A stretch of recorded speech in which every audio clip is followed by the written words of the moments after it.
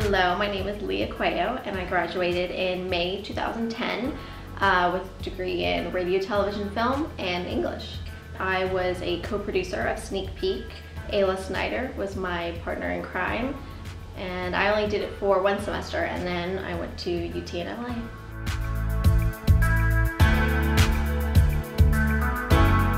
I first heard about TSTV the summer before my sophomore year from my good friend Drew Saplin. I was a biology pre-med major at the time and he told me that he could convince me that I was going to be an RTF major if I came to volunteer for him at his new show he was producing called Sneak Peek.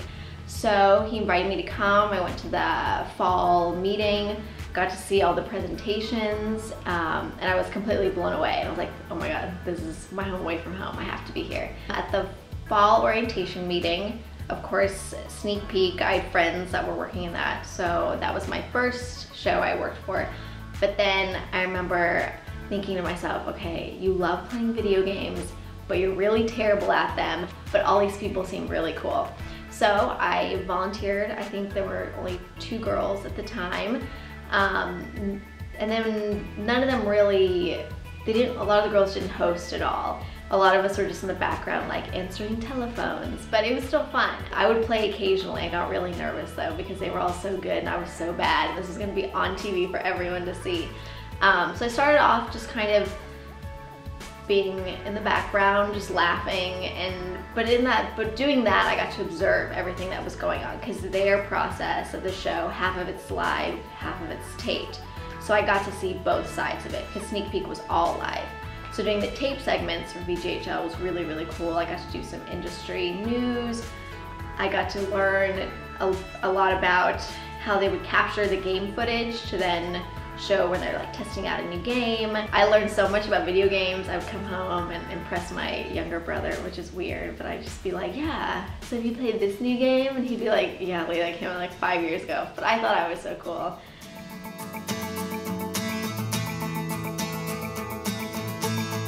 Sneak Peek, I started off just thinking I was just gonna just be volunteer, just learn, because at that point I hadn't taken any RTF classes. I didn't really know how to do anything. I knew how to edit on iMovie, and that's about it. But I, so I really wanted to try and do anything I could, and luckily they said, sure, here's the lights, here's the teleprompter. Um, and then eventually I decided that I wanted to audition to host, and I did, and that's where I met one of my dear friends Haley Denny and we became co-hosts together. But in addition to that, we also wrote our own material for it, um, filmed and edited our own segments. That was the great thing about it, is that you could learn how to do so many things. You didn't have to just be in one area, which I think helped me out definitely in the future.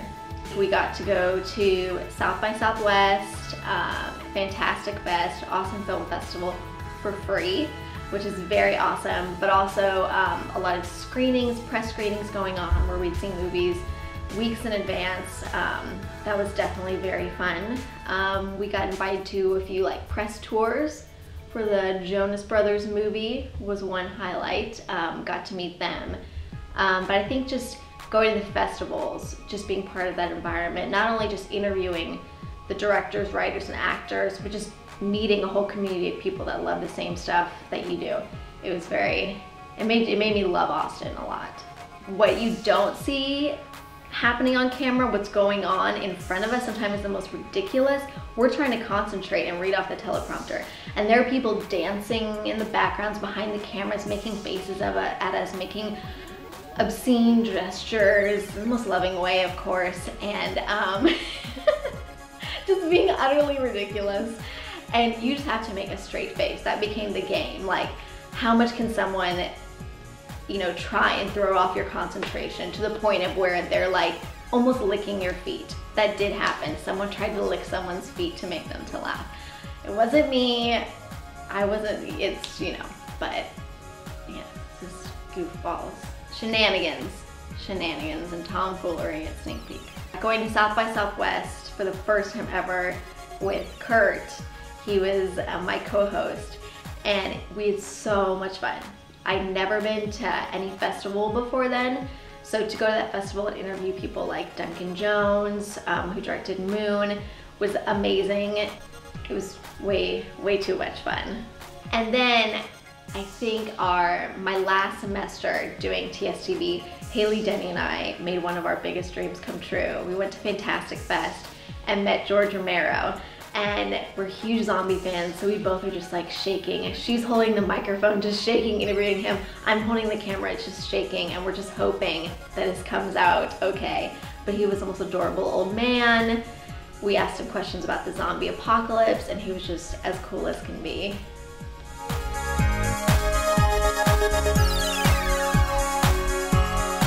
Think I was way ahead of people that were in RTF before me because as many people know, a lot of your intro courses, you don't even get to touch a camera. And I was touching one and I wasn't even an RTF major at that time. Um, so I went into my classes um, already knowing that stuff. I had friends who were already a little more advanced in RTF, so they helped me out when I was first starting.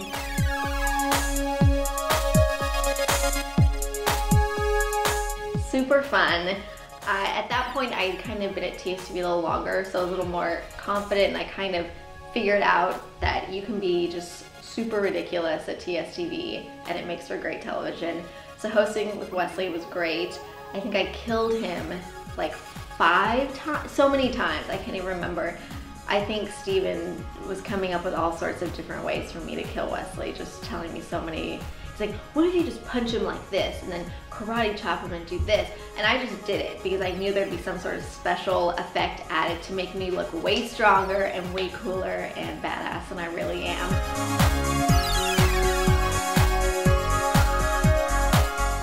For sneak peek, there was one episode that I, that I hosted with Ayla Snider.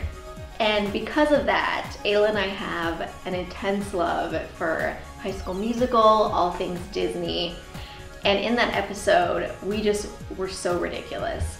Kevin Porter wrote a, song, a love song to Zac Efron. It was just like a musical episode. It was just the most ridiculous episode ever. But everyone had such a blast. I think that was the first time we're all like, you know what, let's just do whatever. Whatever happens on air happens on air and it'll be great. Video Game Hour Live, I have to say the Star Wars episode was so much fun. I had just come back from my semester in LA, so it was kind of a reunion of sorts to be back in the studio, and I love Star Wars. Um, and there was just so much hard work put into it from the script, from the special effects to everything. I mean, everyone was involved. I can't think of a person that volunteers at the station that wasn't involved in some way, even if they'd never done anything for Video Game Hour Live before, they had some small little part in it. Um, and it was super fun. I think it was the last thing I actually shot at TSTV, so it's it's very fun. We even did like a DVD or something commentary on it later on in LA, so it carried on to even further.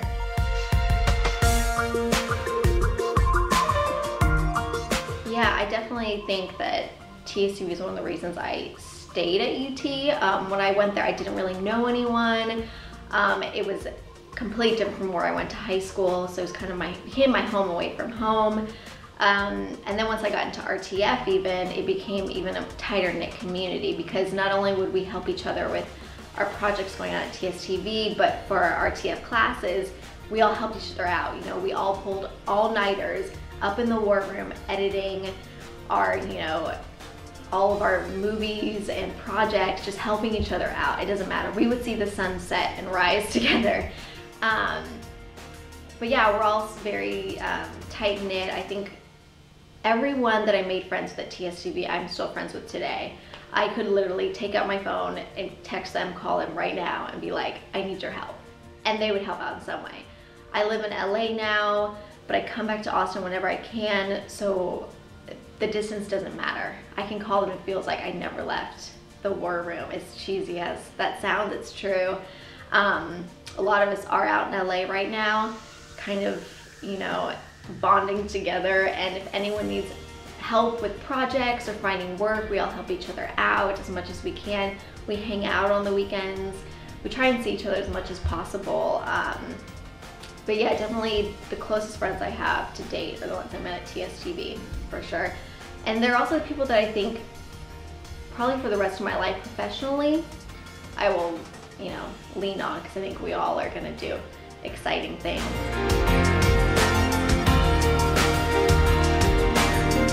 Well, Night Nite Show started off as kind of a talk show format with Billy Maddox, um, William Maddox, um, or Will. I never, people, everyone calls him different things. But um, yeah, it was a talk show format with, uh, he had a co-host, Loren Grush, comprised of interviews and short little sketches, eventually evolved into a narrative show that actually, you know, writers meetings, it was, it was most, a lot of it improvised. But when I was kind of dabbled in Night Nite Show was when it was the talk show format, um, late night talk show. And there was one infamous sketch called Bro Hour Live with Anthony Noto and Kurt Falkenhagen.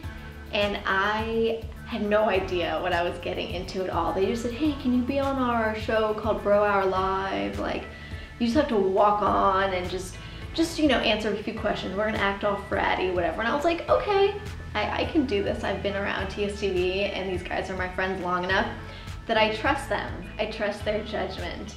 Um, never again, no. Um, and it just, it just evolved into something that I had no idea. I mean, it was hilarious. I honestly don't know how we got away with it. I don't know how we were allowed back in that building because not, it wasn't terribly horrible. It was just, we all were just like, what are we doing? Um, but it was great. It was really funny. Um, you know, the question, will it fit, became a common phrase around the station and I love it. I love it. It's so funny and maybe you'll find it on YouTube. I don't know. It's It could be blacklisted. It could be too racy for you kids.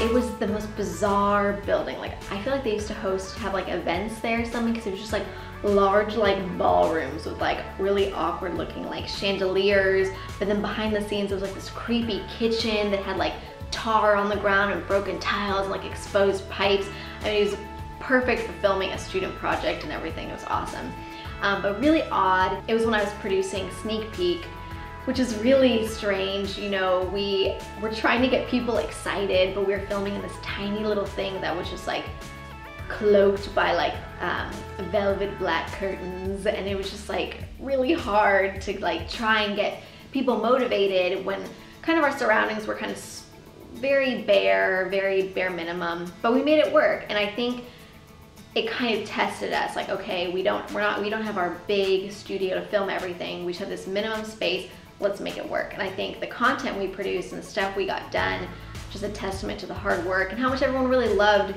the station because we knew that we weren't going to be in Walter Webb forever.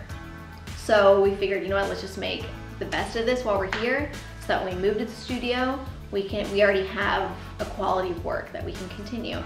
And it was fun. I mean, looking back, it's just bizarre that we were there and we made it work, but it also kind of made it worth it to then go back to the studio and see like how good we do have it now. Like everyone is so lucky. But yeah, it was great.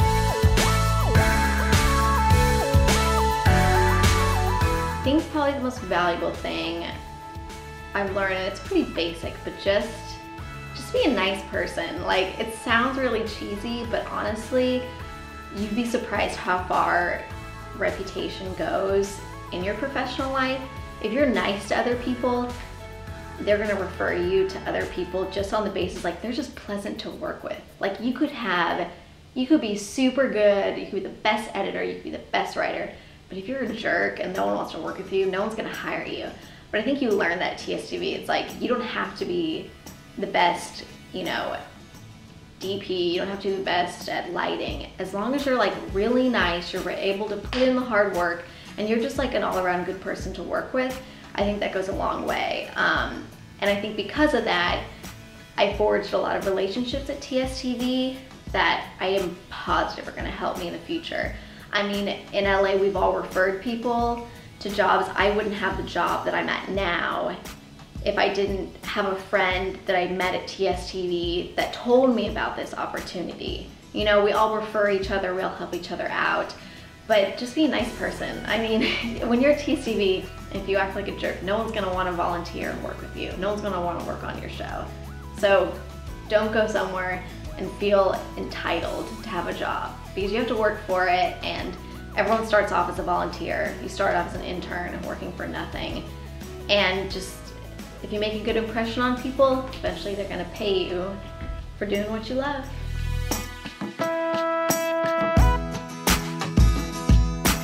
What I would tell someone who wants to join TSTV is definitely do because it's something that you can really be involved in creatively. A lot of times in your RTF classes, there are restrictions on what your projects have to be, you know, like this is the subject matter, you have to do this length, this length, da da da da. At TSTV, like there's so many different types of shows. Like if you're into sports, if you're into movies, if you're into video games, you go to those and everyone usually is so open about doing new ideas that you can be like, I like this video game, I like this movie, can I, you know, do a piece on this? And they let you do it.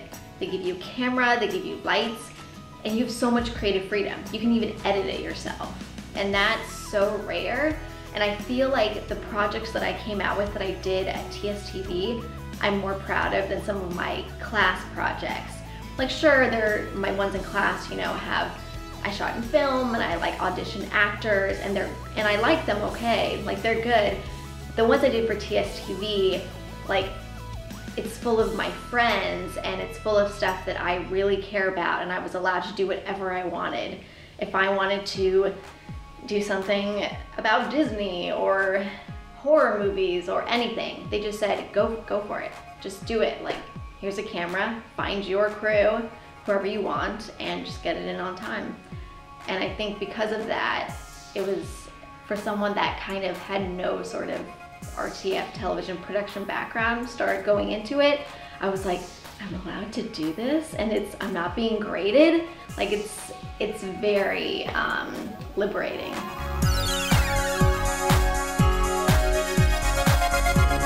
If you're in TSTV right now, stick with it as long as you can um, because I think that I've got so much out of it and I miss it every day. I miss having, getting to go to the war room and see all my friends and just chill and just vent if I need to, if I'm stressed out. Like I definitely miss that. Um, stick with it because the friends you're making there hopefully are people that you know, you're not just working with professionally, but people later on, if you like honestly need anything, they can be your family away from your family, your home away from home. Um, yeah, stick with it. If you're thinking of joining TSTV, do it. If only just to meet some really cool people. Like the people there you won't meet anywhere else. Everyone comes from so many different backgrounds. Um, and yeah, just know that the people that have come before you at TSTV have really worked hard since then and we've all, you know, are making it out in the world so that we can all have more TSTV babies come join us because I feel like a mom sometimes because whenever a new TSTV kid comes out to LA, I get so excited. So stick with it because you have a family there that you don't even know of yet. And it's really cheesy. I can't believe I just said that.